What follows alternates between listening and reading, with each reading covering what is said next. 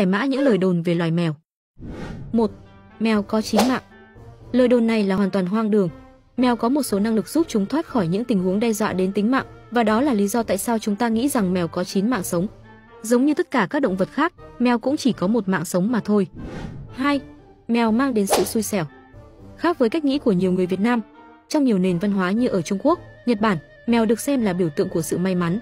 Chú mèo Maneki Neko ở Nhật Bản được cho là sẽ xua đuổi những linh hồn xấu và thu hút vận may. Ở Anh, còn xem việc gặp một chú mèo đen là may mắn. Không lẽ mèo sẽ mang đến xui xẻo ở Việt Nam, nhưng lại mang đến may mắn khi ở Anh, Nhật, Trung Quốc sao? Vì vậy, điều này là hoàn toàn vô lý.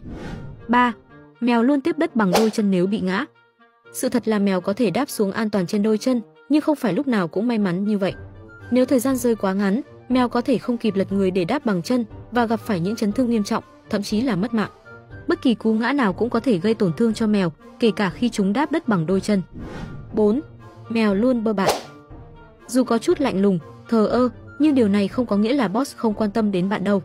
Bạn có thể hiểu, vẻ thờ ơ của chúng thuộc về bản chất của giống loài, khi sinh ra đã chảnh mèo tự nhiên và hoàn toàn không cố ý. Mèo có cách bày tỏ tình cảm của riêng mình, nên nói mèo không quan tâm đến bạn là không đúng đâu nhé. 5. Phụ nữ mang thai không được nuôi mèo. Lời đồn này đã khiến nhiều chú mèo bị bỏ rơi khi chủ của chúng mang thai. Nguồn gốc của lời đồn này xuất phát từ nguy cơ gây bệnh Toxoplasmosis do ký sinh trùng Toxoplasma gondii gây ra, khiến thai nhi bị dị tật nếu phụ nữ mang thai mắc bệnh. Thông thường, ký sinh trùng này sẽ xuất hiện trong phân mèo và truyền cho người nếu chạm trực tiếp vào phân của chúng.